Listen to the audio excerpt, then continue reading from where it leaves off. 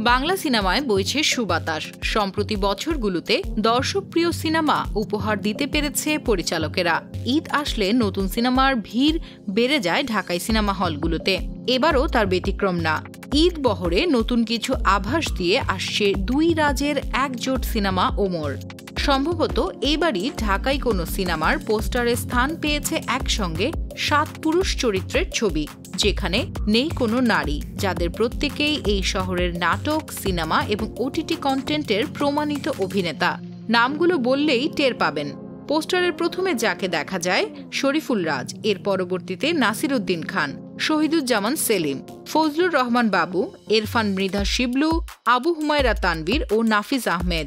এই সাত অভিনেতার পোস্টার চমকের সঙ্গে নতুন করে, তার চেয়েও বেশি চমকের জন্ম দিলেন নির্মাতা মোহাম্মদ মোস্তফা কামাল রাজ। তিনি সাত অভিনেতার সঙ্গে রাখলেন দেশের দুই কিংবদন্তির নাম, একজন সাহিত্যে ও নির্মাণে, অন্য একজন অভিনয় এবং প্রযোজনায়।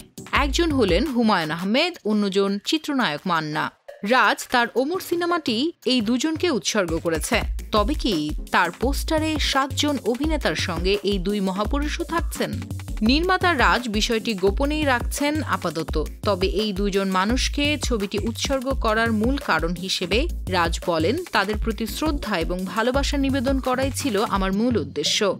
বিশেষ চমক হিসেবে এই সিনেমাতে থাকছে কলকাতার দর্শনা বণিক। মাস্টার্স কমিউনিকেশনস প্রযোজিত ছবিটি আসন্ন ঈদ উল ফিতরে মুক্তি পেতে যাচ্ছে প্রেক্ষাগৃহে।